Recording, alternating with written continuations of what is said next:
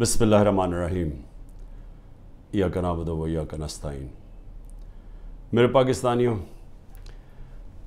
जब सत्तर की दिहाई में, जब हम मैं क्रिकेट खेलता था, और हम यहाँ पाकिस्तानी सोचते थे कि कौन सा मुल्क है जो कि मिडल ईस्ट के अंदर जिधर इंसान जाए छुट्टियों के लिए या जिसकी मिसाल दी जाती थी तो आज आपको हैरत होगी सुन के कि लोग लेबनान की मिसाल देते थे।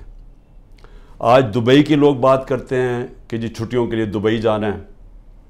तो सत्तर और काफ़ी देर तक, बल्कि अस्सी अस्सी की दिहाई के शुरू में, सब बात करते थे बैरूत जाने का।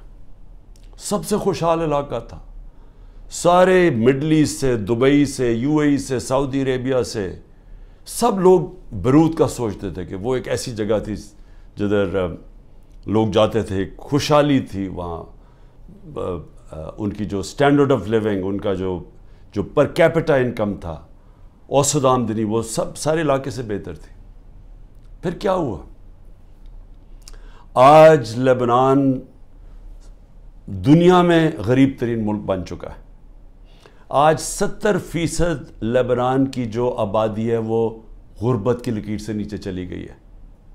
आज लेबनान के अंदर जो पैसे वाले लोग हैं, जो प्रोफेशनल्स हैं, वो मुल्क छोड़ के चले गए हैं।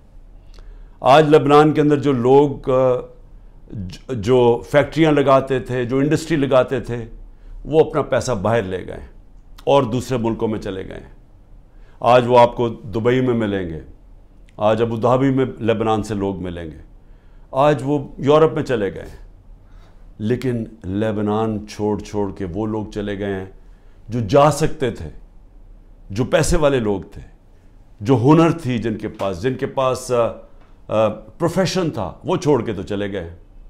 रह कौन गया? वो लोग जो बाहर नहीं जा सकते। जो जो गरीब लोगों को वीज़ा नहीं मिलता बाहर जाने का वो रह गए। और आज एक वो मुल्क जो खुशहाल था, आज वो बिल्कुल वो मुल्क बन गया जिसको लोग छोड़ के जाना चाहते हैं।